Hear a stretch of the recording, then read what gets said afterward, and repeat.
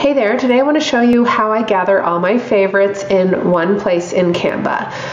So this is an ongoing process that I'm always doing as I'm searching through Canva and I'm adding things to my starred folder and I want to show you how you can do that as well. From your home screen, over here on the left, you're going to see projects. If you click on projects and under folders, you're going to see starred.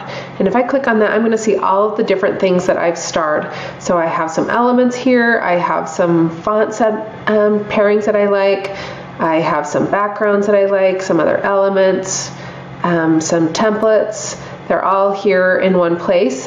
And let me show you how I got them here. I have a presentation slide template open. This is from my Brand in a Box collection, Desi.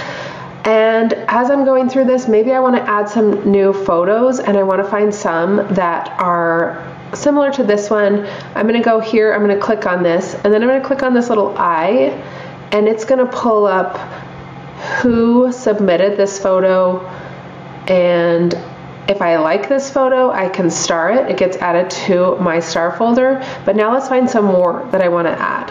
And I want to just do this quickly. So I'm going to click on the person's name and then I can scroll through here. I see this one that I already liked. I can go here to the three dots and I can say, see more like this. And then as these are pulled up, I can come in here to these three dots and just star. So I have a lot of different slides in this presentation template, but maybe I'm looking for a particular one. Let me show you how I go find my favorites and how I star them for later as I'm searching. I'm gonna come right here to design and I'll click on that and then all of these different options get pulled up for me and I can search in these by clicking on them. I'll see all 17 when I click on it. Maybe there are some of these that I like and I can just star this whole deck. Whenever I see a deck that I like the look of, I can just click on it here, go back, and then star it.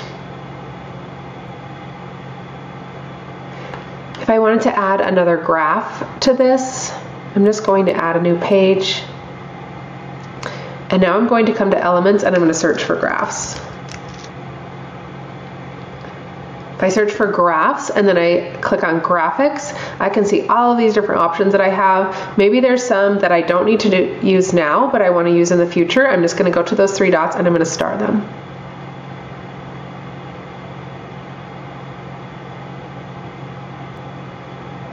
Now that I've starred a bunch of items, I can come back over here to my projects and then I'm going to go to folders and then I'm going to click on starred. And so you can see all of those things that I just added to my starred folder are there. Now I can click on this and add it. I can change the colors.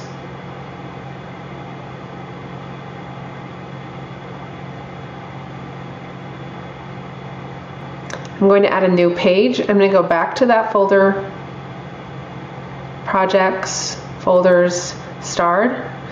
And now I can open up this pitch deck, this presentation slide, and see if any of these are ones that I want to add. And if I just click on it, it gets added. And now I can change the colors.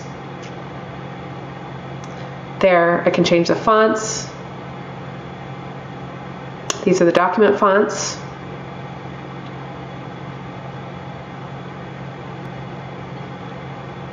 I can go back into my folder and find the some of the photos that I have selected. This is that one I added. I can add that. Another thing that you can do to really curate all of your favorites, even from your starred folder, is create their own folder. So if I was wanting like all my stock photos in one, I could do that right from those three dots as well. So from these three dots, I can add to folder and I can put it in my stock photo. Sometimes I like to keep things in my starred folder and in my stock photo folder, depending on, you know, I never know what I'm going to be using and when. Uh, I just like to keep everything really close at hand, makes it really easy to design in Canva. You can also go into your templates right here on the left and Canva is going to pull up a ton of different ideas for you I like a minimalist look, so I could come in here and I can just go through and star a bunch of these that I like.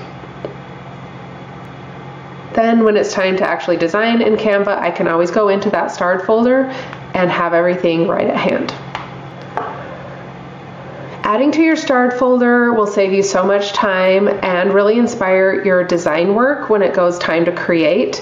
Uh, so take that few moments to add things to your starred folder and you will not be sorry when you go to create in Canva next time. All right, we'll see ya.